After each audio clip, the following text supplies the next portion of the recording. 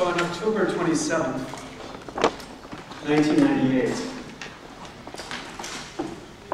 the United States Congress passed a statute in honor of this actor, the Sonny Bono Copyright Term Extension Act. This statute extended the term of existing and future copyrights by 20 years. When it was introduced by Sonny Bono's wife, Mary Bono, she said this on the floor of the United States House. Actually, Sonny wanted the term of copyright protection to last forever. I am informed by staff that such a change would violate the Constitution. As you know, there is also Jack Valenti's proposal for a term to last forever, less one day. Perhaps the committee may look at that next Congress.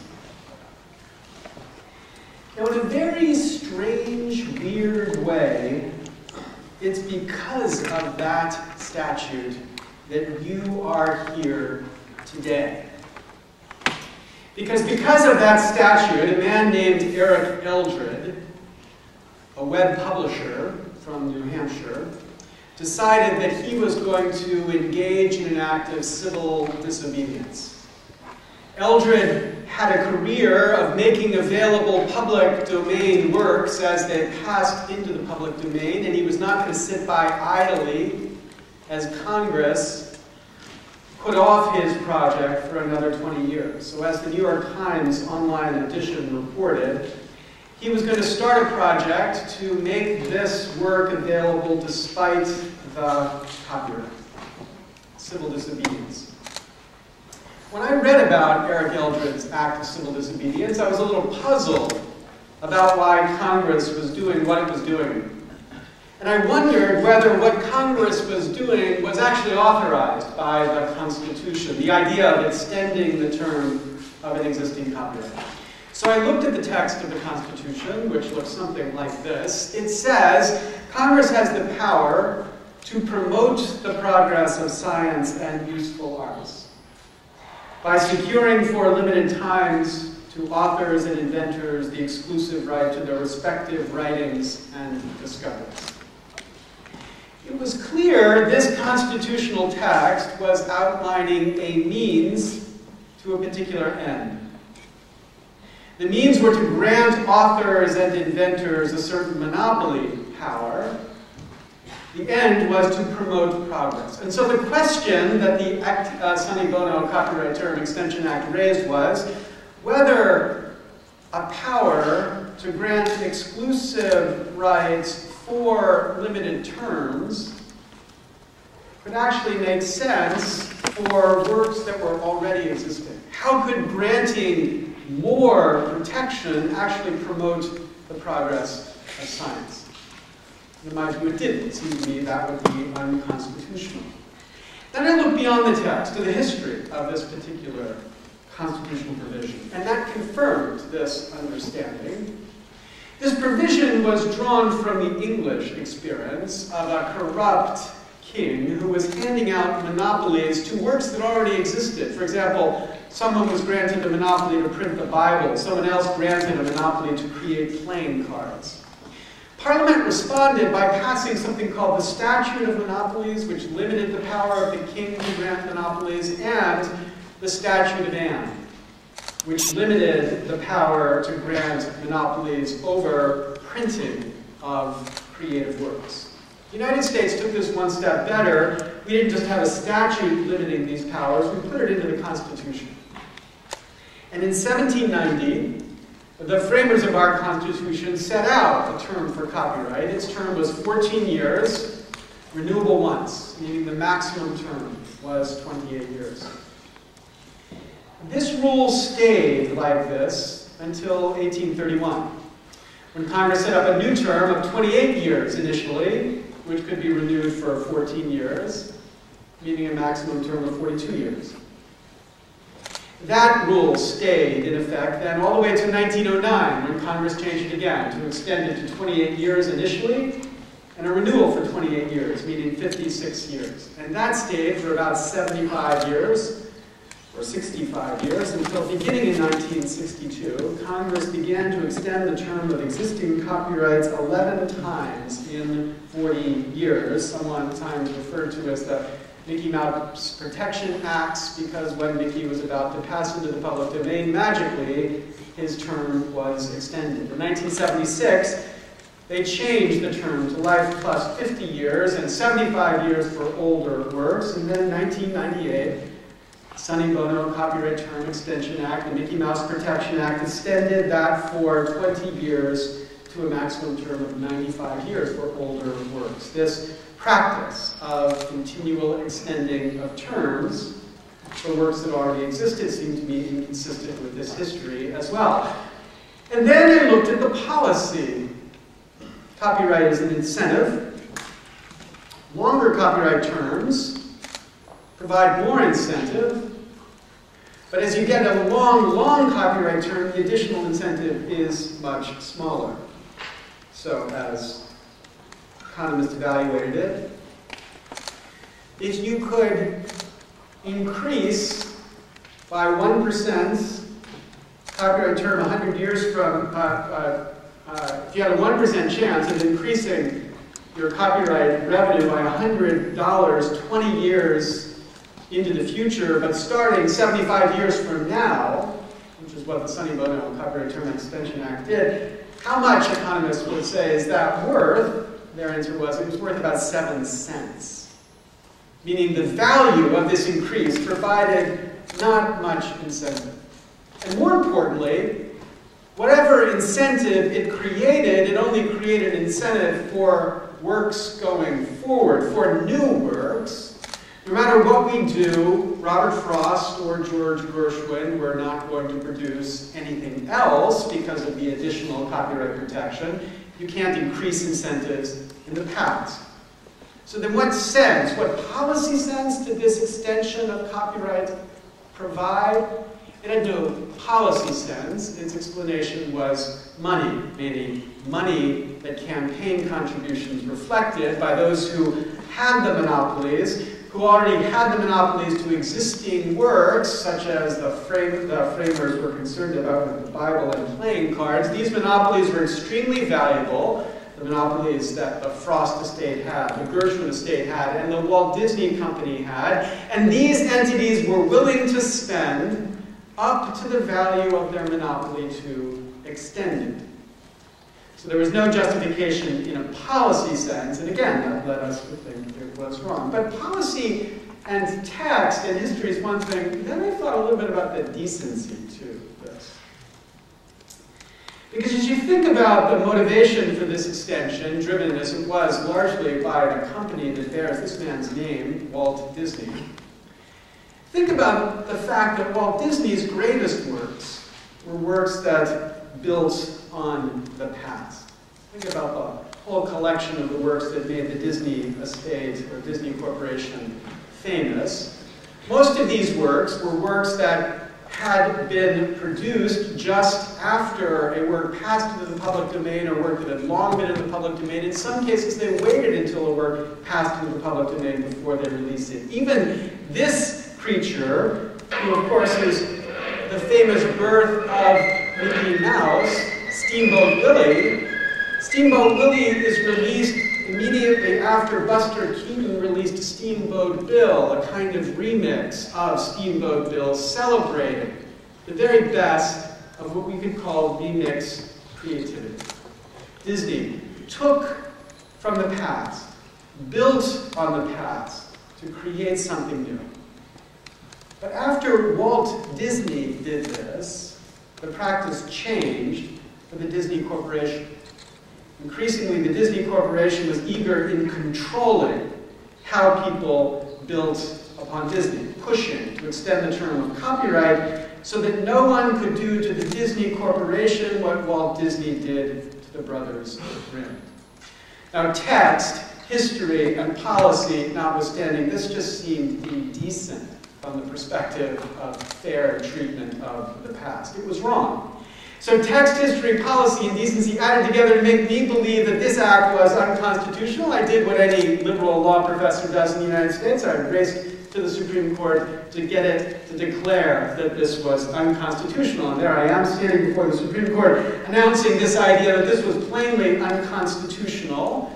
And as I thought about this Supreme Court, I was very optimistic about the result. Because five of the members of the Supreme Court are conservatives, originalists. They believe the Constitution should be interpreted as the framers of our Constitution would have interpreted it, and against the framing Constitution, what Congress was doing was just plainly beyond its power. So, inconsistent with framers' meaning meant we would get those five votes, and then I thought about Justice Stevens and Justice Breyer, two very reasonable, non-conservative justices who would also plainly oppose this extension, and I recognized we had seven votes for striking this down against two votes against striking it down. And in fact, the vote was seven to two, but not quite the way I expected. The majority was written uh, by Justice Ginsburg, and uh, two critical swing votes here were in dissent, but the five conservatives sat silently as the court upheld a practice of Congress wildly exceeding the power the framers envisioned they would have. It was a total defeat of this objective of using the law to stop this abuse of culture. And after the case was lost, I was asked by a colleague, why did I expect the Supreme Court would ever act against all the money in the world? And the answer was, I wasn't sure. Now, in the middle of this case, Eric Eldred said to us, it's very nice you're taking my case to the Supreme Court, challenging the Sonny Bono Copyright Term Extension Act on my behalf. But I want something more to come out of this case. I want this case to stand for something more than just whether we win or whether we lose. So at the time we were litigating this case, we started something called Copyrights Commons, which was a group of people working together to help us prepare the case of Eldred versus Reno, eventually Eldred versus Ashcroft. And in 1999, that organization launched itself, and then in 2001, Eric Saltzman, current board of Creative Commons, suggested we rename this organization to Creative Commons, and the members of that organization voted unanimously to rename it on January 16, 2001, two years to the day before the Supreme Court would resolve the case of Eldred versus Ashcroft. Our first executive director, Molly Van Houweling, led the organization by building the framework that we would eventually uh, implement. And then in 2002, Glenn Brown and uh, Neeru Paharia worked together to launch this organization on December 16, 2002. One month later, the Supreme Court wiped us out, defeating our claim in Eldred versus Ashcroft, and one hour after the Supreme Court's decision was announced, into my office walked representatives from the William Flora, Flora Hewlett Foundation and handed us a check for $1 billion to launch the Creative Commons movement. That's the history that gave birth to this organization called Creative Commons, which in turn gave birth to this organization called the iCommons movement, which is in turn why this event is happening today. But a decade ago, when we were thinking about why this case was so important, a bunch of us sitting around recognized that there were two extraordinarily important changes that had happened that made this case and this movement necessary. One change was a set of changes in code Another change was a set of changes in code. One set was a set of changes in code, as in technology, digital technology, the internet. Another change was a set of changes in law, the way the architecture of copyright law affected creativity in the context of the internet. So the change in technology is the change all of you recognize through the freedom and the creative freedom that this internet has produced. A freedom that comes not from the law, comes from technology. It's not something that's been earned, it was taken. The explosion in digital creativity that this technology encouraged, encouraging many kinds of creative expression. The kind that's most interesting to me is something we can call remix. We've seen this remix in the context of professional creativity, so an example of music that I've told many times about the Beatles um, album called the White Album, which then, of course, inspired Jay-Z to produce the Black Album. That then inspired the next great instance of remix creativity in music, which was DJ Danger Mouse producing the Grey Album literally synthesizing tracks of the White Album and Black Album together to produce something great. That's 2004. Four years later, a band called Girl Talk, it's actually one guy who runs this electronic music band, released an album where in one particular song more than 213 tracks had been remixed a radical new kind of remix creativity expressing the capacity, the potential of this technology. But not just professionals, amateurs too. There's an explosion of something in the United States called AMVs, anime music videos, of course building upon the anime which get birth here in Japan. Anime music videos are created by people taking this work, this creative work, and re-editing it, setting it to a music track. So something as trivial as this.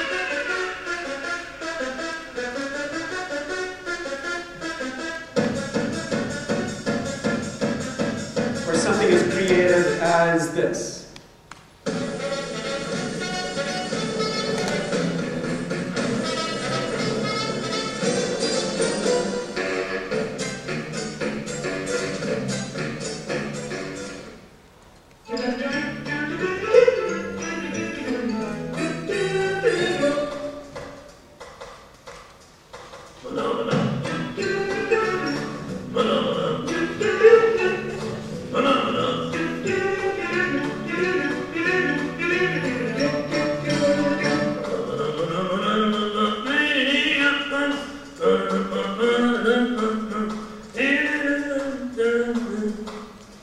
Creative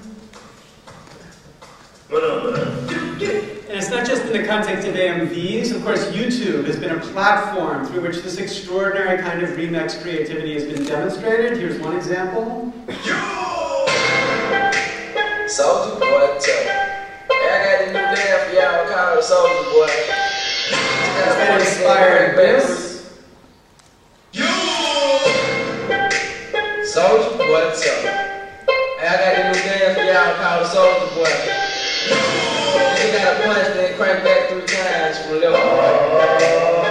Inspired something Walt Disney would have loved.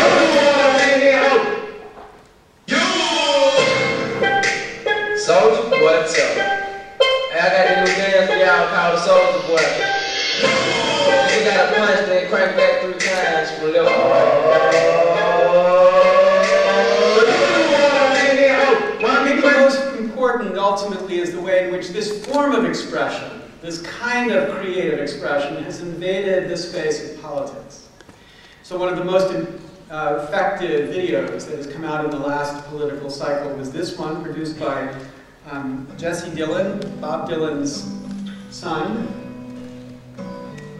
expressing in a natural way this mix between music and speech. It was a creed written into the founding documents that declared the destiny of a nation. Yes, we can. It was whispered by slaves and abolitionists as they the trail toward freedom. And then still my very favorite, which if you've heard me speak before, you've seen this before, still expresses the potential of this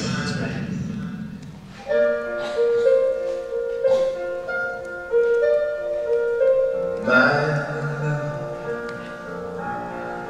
there's only you in my life, the only thing that's bright.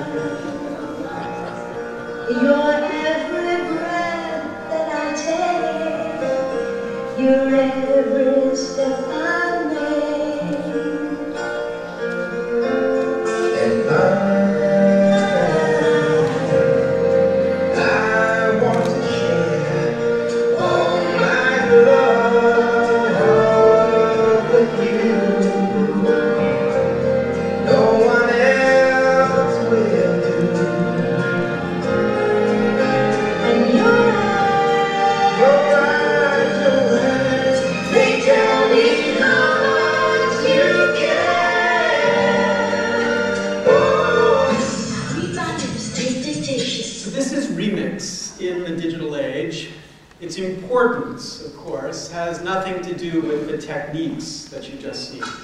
Because of course, since the beginning of film or video, filmmakers or videographers have been able to do exactly the stuff you've seen here. Its importance is that this technique has now been democratized.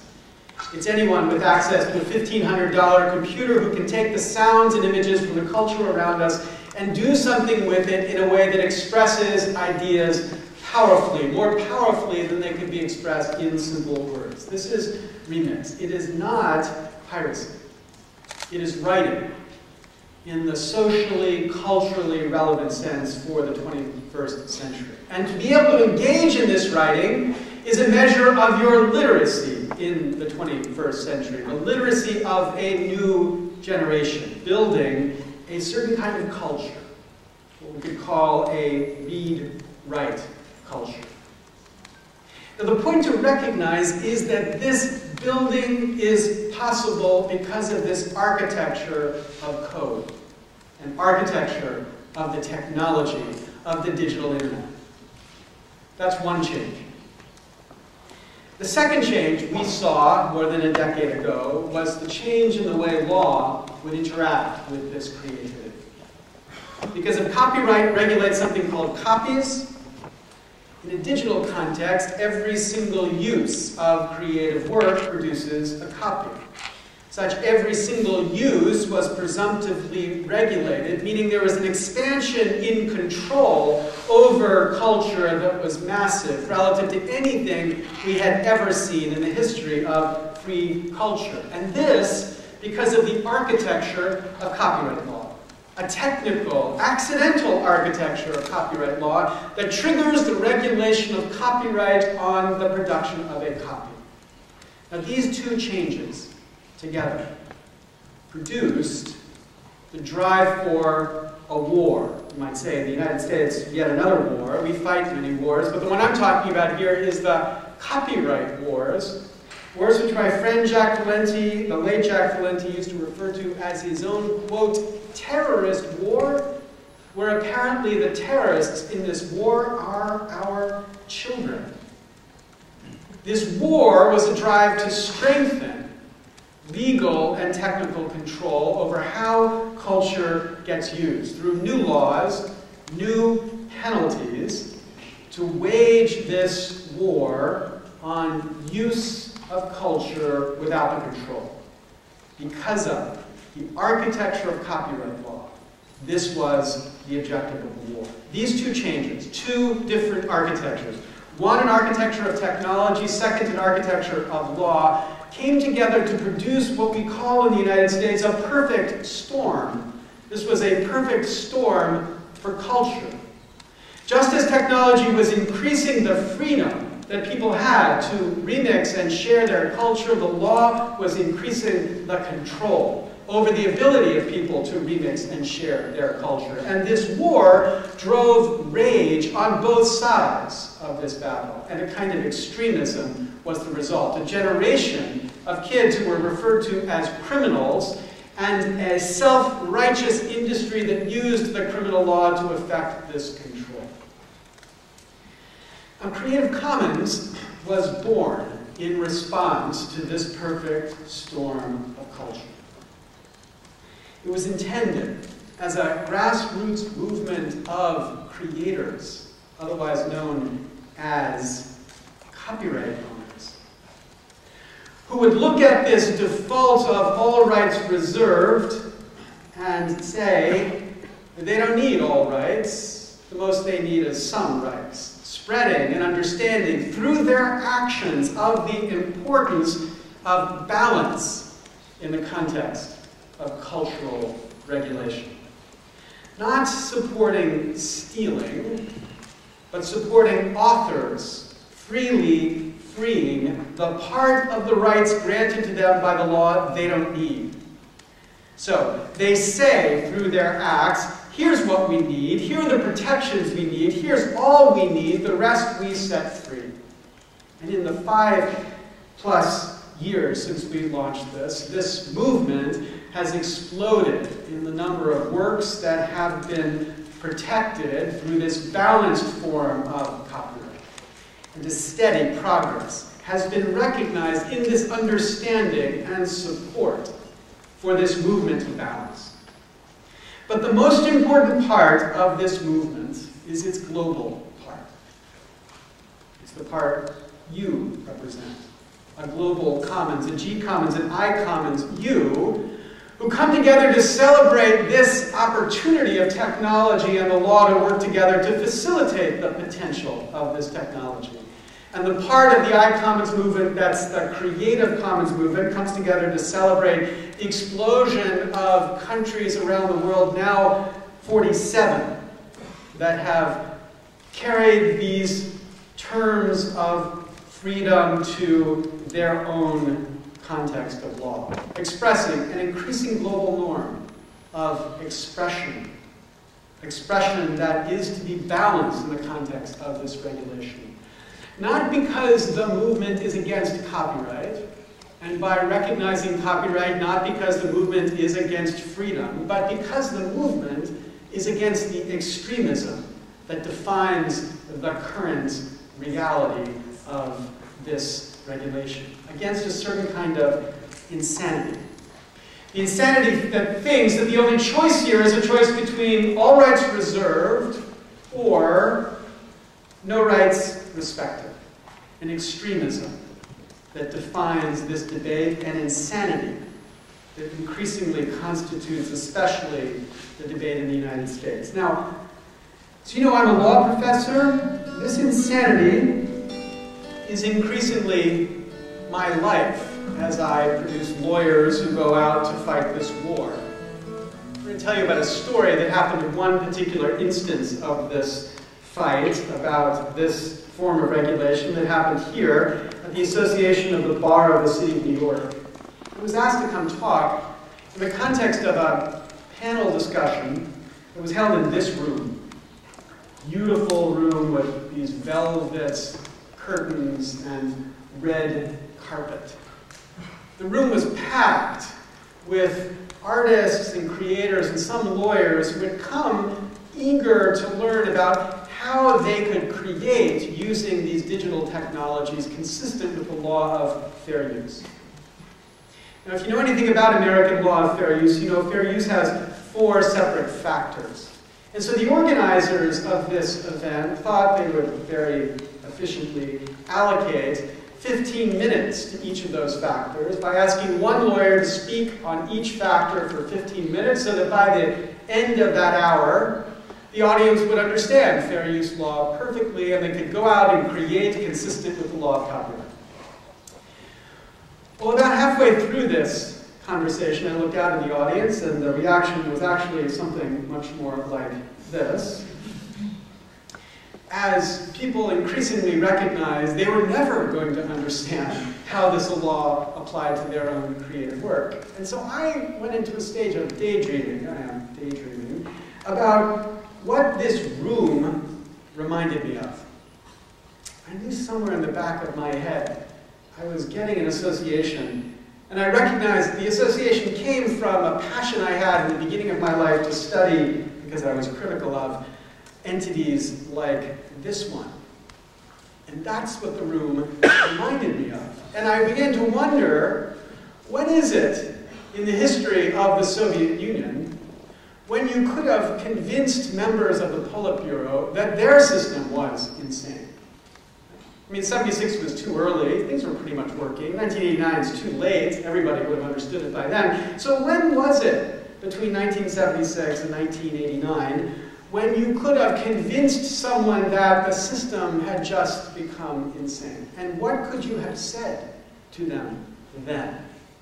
To convince them that this idea that they romantically followed into their career had crashed and burned because it had become insane for this world. Because as I spend my time as a lawyer and a law professor listening to the lawyers around me who tell us, or at least us in the United States, that they insist that nothing has changed, the same rules apply, it's the pirates who are the deviants. Well, they might be right about that, but insisting that the system can go forward without any change, I realize it is we or they who are insane. That the existing system of copyright could never work for this form of creative expression. Either we will have to force people to stop creating, or we will get a revolution that will wipe away the law of copyright. In my view, both options are not acceptable. We need to recognize that both options are increasingly plausible, and that this insanity is encouraging a movement which there are some in this room who participate in, a kind of copyright abolitionist movement. People who believe the world doesn't need copyright anymore. I am not a copyright abolitionist. I do not believe in that movement. I believe copyright continues to be an essential part of extremely important forms of creativity, at least a copyright regime properly balanced and limited. And my view is we need to recognize the threat from this abolitionist movement and fight it. So in that sense, you could say, I am not Gor uh, Yeltsin in this movement. I'm more like Gorbachev, the old communist, trying to preserve the old system in this new age because I still believe that this system of copyright can make sense in this new age, to preserve copyright that's my objective against these two extremes, extremes which in my view would destroy copyright. Now Creative Commons, whether you accept this limited version or not, was born to attempt the effort at calming this storm. To enable the promise of this technology. Even if in enabling the promise of this technology, we need to rally a movement of artists and creators and writers and scholars and teachers and parents against all the money in the world. Thank you very much.